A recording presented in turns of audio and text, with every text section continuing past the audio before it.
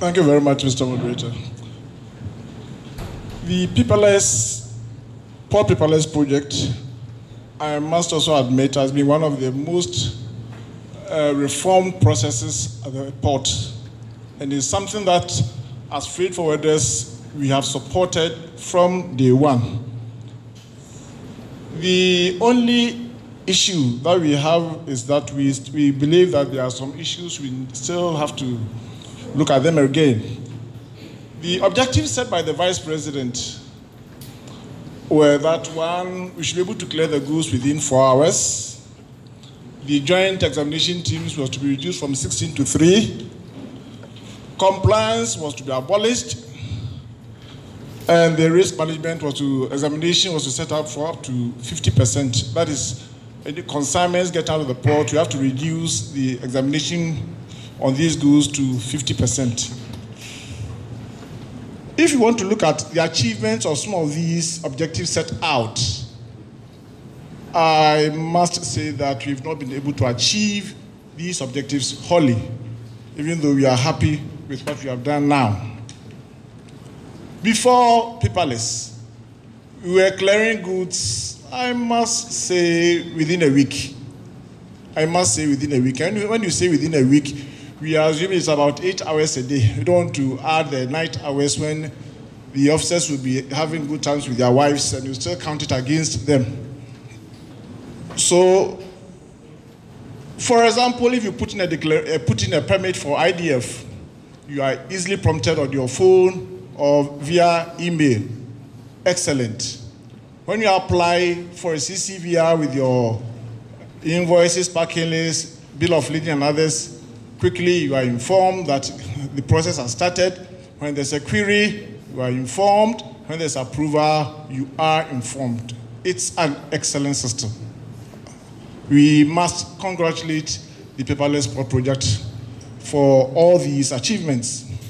After that, you just doing the declarations in your office. Of course, that time too does not go against the paperless port, paper, port paperless project.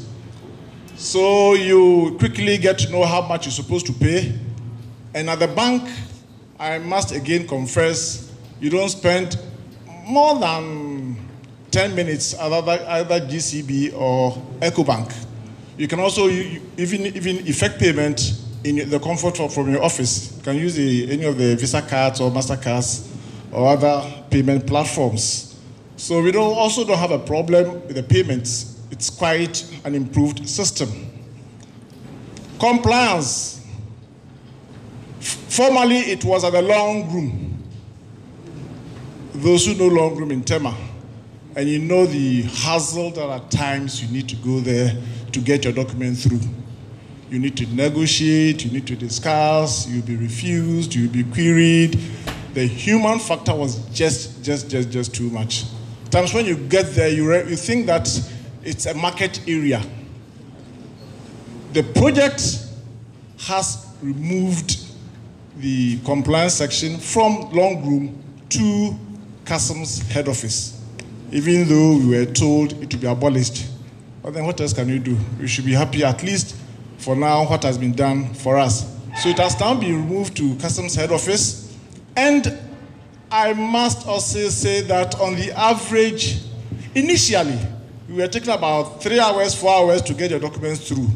But now, at times, it takes a day or two on the average. It takes a day or two to get your response from You meant compliance. to say four days, not four hours.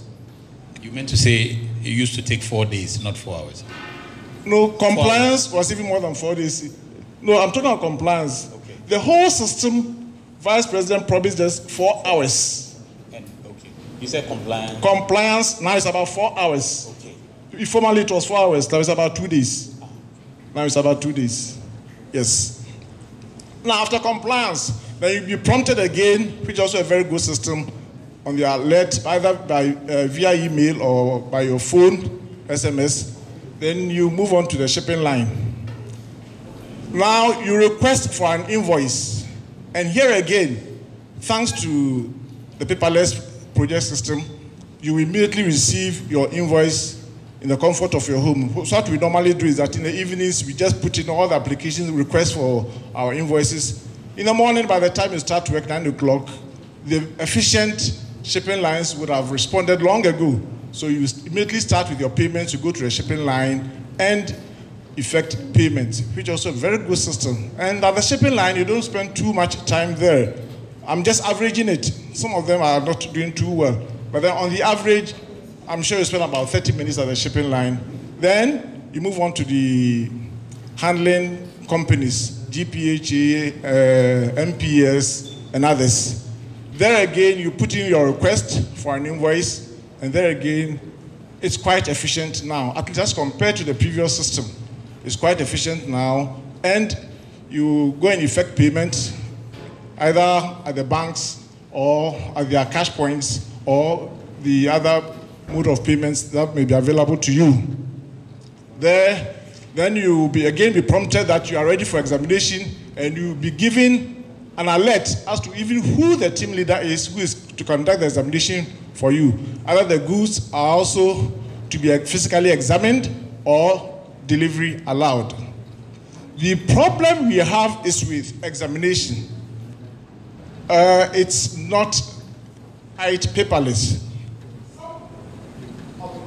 As asking for documents, he allow you to do even the examination, especially the senior officers. You have times you need to carry physical documents to them for them to inspect before they refer them to their junior officers. And at times, even the junior officers, when you finish with the examination, they also have to refer you to the uh, their senior officers. But I must also again confess quite an improvement upon the previous system. From there, then with the team also comes in. The vice president again promised us that we will reduce the 16 inspection teams to three. There again, yes, it's quite an, a marked improvement in the system, but then uh, the human factor is still there.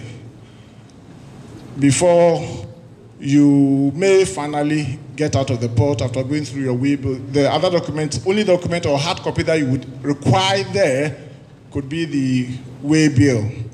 And the national security normally also asks for hard copies before you get out. So, so far, the system existing now, I must say that is quite okay. It's doing well, but then we believe that there can still be some improvements. Now, what challenges? The challenges, as I, as I initiated earlier on, is about the inspection team. Internal, for example, there has brought, he brought on board the AC task force. We have the uh, JCPU and some other smaller inspection companies, even though all of them are under customs and preventive. So we have about four components as one team. And they may not come at the same time, they may come at different times. And that makes it quite difficult. Here again, I must also say that my own people, the freight forwarders, at times, we have also initiated the, the formation of some of these smaller inspection, company, uh, inspection teams. Initially, it was moving on smoothly, and once in a while, you hear somebody may describe an item, a whole container of uh, item X was described as item B, and therefore the AC not feeling comfortable, not being too sure be able to achieve his targets, he will say, oh, let me form a task force to also oversee the activities of the preventive or the oversee the activities of some of the teams at the harbor there.